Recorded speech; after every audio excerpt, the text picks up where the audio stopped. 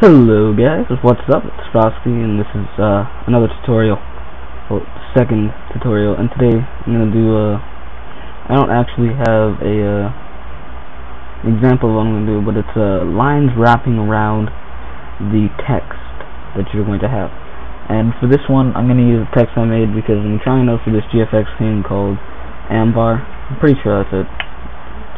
Should be it, because that's what they made me download for it. But I haven't done the speed art yet, so when I when I do do it, I will post it on my channel, and you guys can check that out. But uh, today, I'm just doing a uh, tutorial. Alright. So you just want to make a new project file and uh, drag your text in it. I'm to use this one. Text here. Alright. So I really like this one. Um, and what you're gonna do is you're gonna go to your brush. You're gonna find one of these. I like to use five, the solid five, and then you go to Window, Brush, and click Shape Dynamics, and the control will be pen pressure.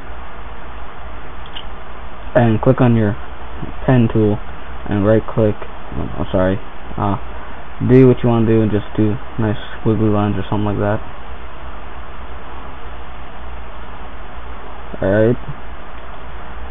So, and you're going to make a new layer and click stroke path and make it brush and check simulate pressure. Alright. Then you can change the color of whatever if you want. Like, I'm going to make this one black instead because I can't really see the white.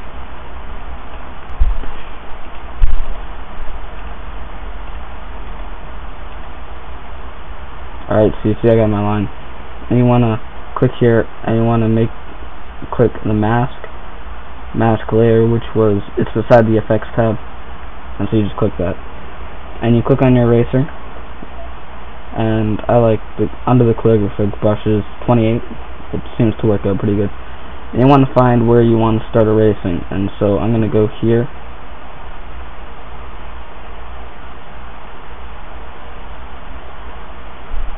Alright, and then you skip one, and then you can go to the next one.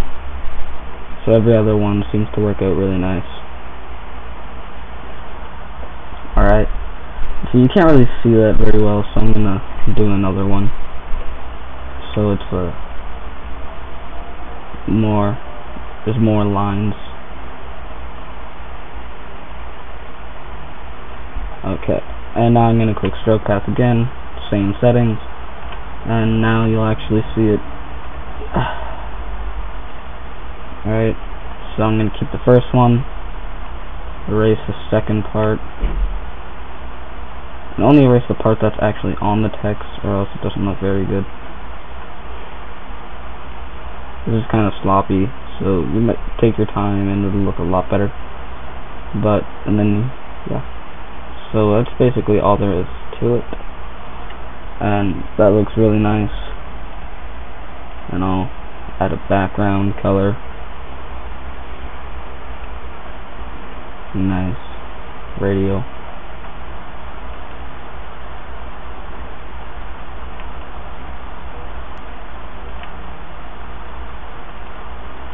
Black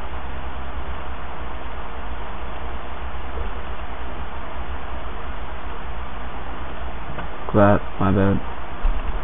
And make this, oh I don't know, it doesn't matter. I'm just doing this so it doesn't, so you can just click that.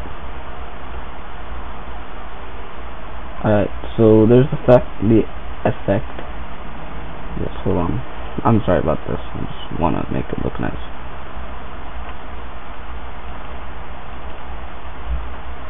Alright, so here's the effect. So yeah, please remember to comment, rate, and subscribe. Well, comment like if you can, and then subscribe because I love you all. Um, yeah, peace out, guys. And I'll put the final image right here at the very end.